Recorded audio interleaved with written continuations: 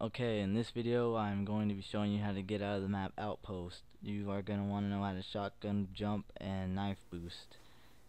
So, you're going to want to come to this general area next to these pallets. You want to knife your friend up on top of the pallets, like so. Then you want to put down your tack just in case you fall. Then you're going to want to shotgun boost your friend onto the next ledge.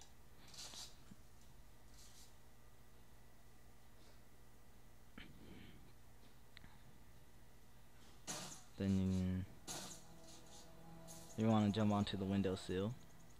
This is in a different view.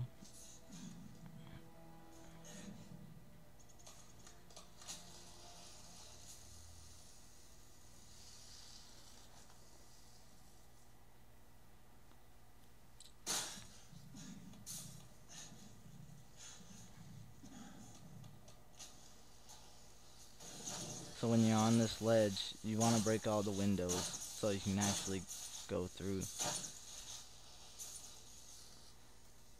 So then once you break all the windows, you can either set down your tack, help your friend, or you can just jump out the window and just roam around the map.